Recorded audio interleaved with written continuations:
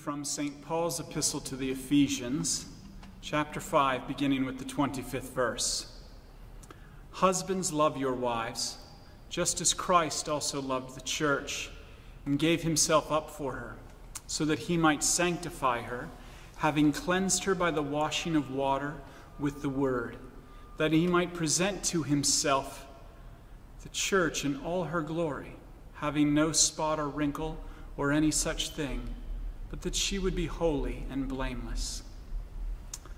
Now, Father, we come to you in this devotion, and we pray that the words that I speak and the words that everyone hears through these various platforms might be in the name of the Father, and of the Son, and of the Holy Spirit. Amen. Well, a very warm welcome to you all today from uh, the freest city on earth, New York City. Anyway, my name is uh, Jacob Smith, and I'm the rector of Calvary St. George's, and I am thrilled to be back with all of you at the 1517 conference. Even if it's socially distanced here, I'm going to pretend that I'm in La Jolla. And it's not working, but anyway, we'll, we'll do what we can. I look forward to being with you all next year as well. But it's been difficult uh, for me to think about the concept of freedom uh, this year when our lives have felt anything but free. Mask on. Don't touch this. Don't touch that. Stay off the beaches. The other day, I woke up a little late and got started in, uh, a little late, and I went to my favorite coffee shop around the corner, and um, uh, I ordered my coffee, and I did what a lot of New Yorkers do here. You know, it was piping hot, and I kind of went over to slip and take off my mask to take a quick sip. And all of a sudden, from across the counter, this barista screams at me, Sir, put your mask back on or get out of the shop. And I, you know, I was so embarrassed. I put my mask on, and uh, the fact that a blue-haired 22-year-old barista could yell at me like that in public, well, it reminded me, Jacob, you're not all that free. the idea of freedom from a human perspective is a difficult topic in theology because freedom from a human perspective alone quickly becomes slavery. It becomes tyranny. It becomes addiction. It becomes depression. Freedom from a human perspective alone becomes overbearing forms of safety. This is my first point freedom from an existential perspective on human terms alone is a myth. Freedom, from our perspective, is a reality that is elusive and is ultimately, ultimately, it ends up like that 1991 feminist drama. I knew this would be a huge hit here Thelma and Louise. Human freedom, from our perspective, winds up in a car crash at the bottom of the Grand Canyon. However, the Bible teaches us something different. The Bible teaches, and indeed most of the early church fathers and all of the Protestant reformers agreed, that God is the only absolute sovereign, the only one who is truly, truly free.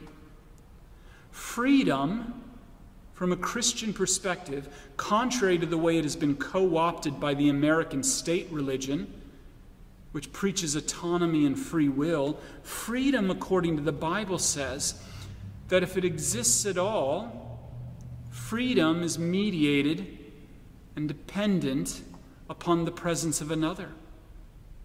Human freedom is ultimately a gift, and it comes with a name Jesus Christ the righteous, who is our only mediator and advocate. And this is my second point. Human freedom, in the truest sense, is the freedom of a Christian. Because it is a freedom which is given as all gift by our Lord, who is the only one who is truly free. And this gift frees us from death itself, and this gift ultimately leads to new and eternal life. But the question is how? In the here and now, how is that possible? Well, in his work, The Freedom of a Christian, Luther describes how we are given this marvelous gift of freedom.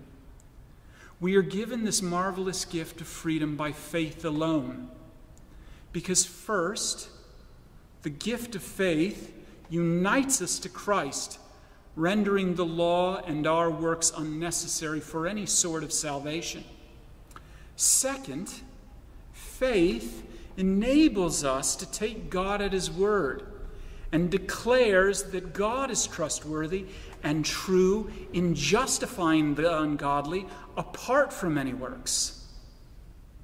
And then, third, like a bride to a bridegroom, faith unites us with Christ and says that all it, that is His is mine, which is righteousness and life, and all that is mine is now His, sin and death. I remember early on in my ministry um, foolishly asking Steven Paulson at the second Mockingbird conference in New York City, I said, You know, Dr. Paulson, as a man, I have a real hard time relating to the image of being Christ's bride. Do you have any other illustrations? To which he looked at me and he responded, It doesn't matter if you can relate to the image or not. When our Lord calls you his bride, you shave your legs and put on some lipstick. And that is why I'm still in the Episcopal Church today. However, the bride and the bridegroom analogy has begun to make a lot more sense to me as I've done weddings. One in particular sticks out to me. Early on in my ministry, we had this amazing cellist play at our church on Sundays named Jackson. We called him Jack. And what was amazing about him was that he could not only play St. John's Passion, but he believed it.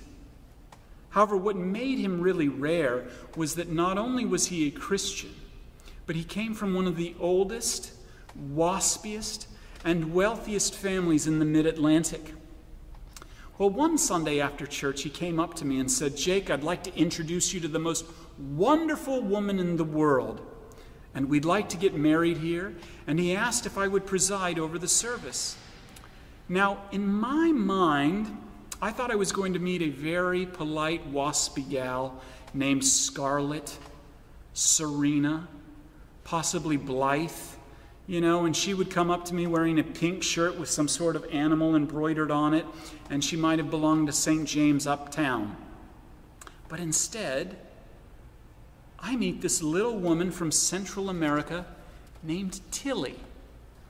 And Tilly said hello, and it caught me off guard. I was like, wow, so nice to meet you. And then I said, How long have you been dating? To which they responded, Nine months. And I was like, That's interesting. Tilly, how come I've never met you before? To which she replied, uh, Reverend, I love your sermons, but me and my family are active members of the Pentecostal Church of the New Jerusalem in the South Bronx. I was like, whoa, this is going to be interesting. Two different worlds coming to collide. And then I asked, well, how did you meet? To which Jack said, I saw her on the subway and I thought this girl was so beautiful, I just had to ask her out. So I asked her on the subway and she said, yes. And here we are. And I looked at her and she blushed and she said, Can you can you believe I said yes to that crazy white guy on the subway? And we all kind of laughed. It was beautiful.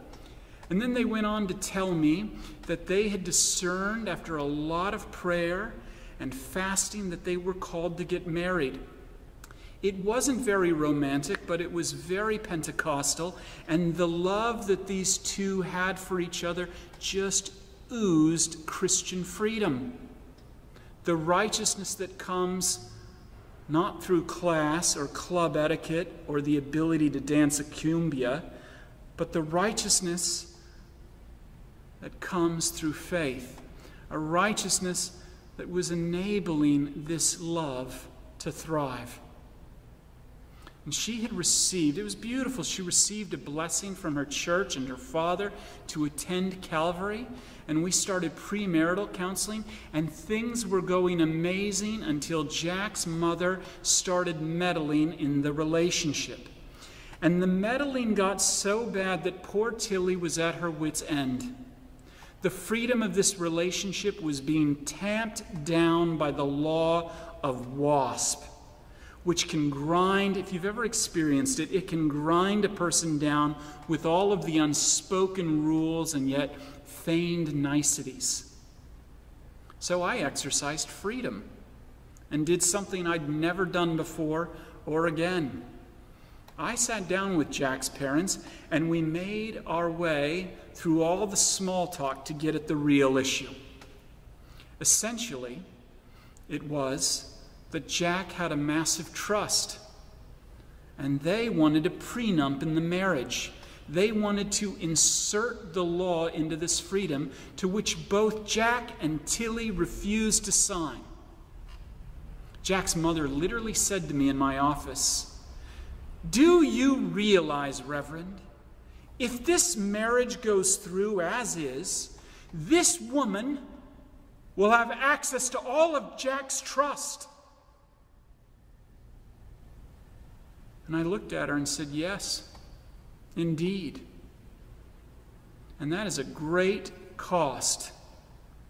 But in exchange, you will get an amazing daughter who truly loves your son.